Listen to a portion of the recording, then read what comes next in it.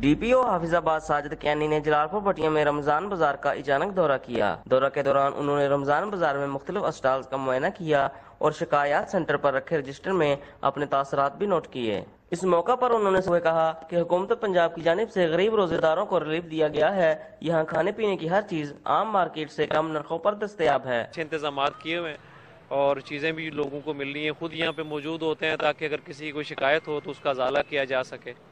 اور کچھ جو چیزوں میں مارکیٹ کے مقابلے میں زیادہ قیمتوں میں کمی ہے تو اس میں بہت سارے غلط باتیں بھی شروع ہو جاتی ہیں۔ اس کو تو اس کا انہوں نے آرگنائز ماشاء اللہ رکھا ہوا ہے کہ شناختی کارڈ دیکھ کے دے رہے ہیں تاکہ کوئی اس کا غلط استعمال قیمت کی کمی کا نہ کر سکے، لیکن انہوں نے مزید کہا کہ رمضان المبارک میں ضلع بھر میں فول پروف سکورٹی مہیا کی جا رہی ہے۔ انہوں نے میڈیا کے نمائندوں سے کہا کہ اگر کوئی کمی کوتاہی رہ گئی ہے تو آپ کی ذمہ داری ہے کہ آپ نشاندہی کریں۔ ہم انشاءاللہ نوٹس لیں گے۔ اور یقیناً میرے سے زیادہ بہتر پھر آپ لوگ بتا سکتے ہیں کہ انتظامات اچھے ہیں کہ نہیں ہیں۔ کہیں پہ اگر کوئی کمی کوتاہی ہوگی تو وہ بتائیں گے تو ہم انشاءاللہ اس کو بالکل ٹھیک کریں گے۔ اس موقع پر ان کے ہمراہ ایسا چوتھانہ جلال پور بٹیاں سید منور حسین شاہ اور دیگر محکموں کے افسران بھی موجود تھے۔ کیمرہ مین غلام حسین بوٹا کے ساتھ باور شیر کانجو سٹی نیوز جلال پور بٹیاں۔ ہم لاتے ہیں ٹاپ نیوز آپ کے فیوریٹ ٹاک شوز اور انلمیٹڈ انٹرٹینمنٹ صرف یوٹیوب پر۔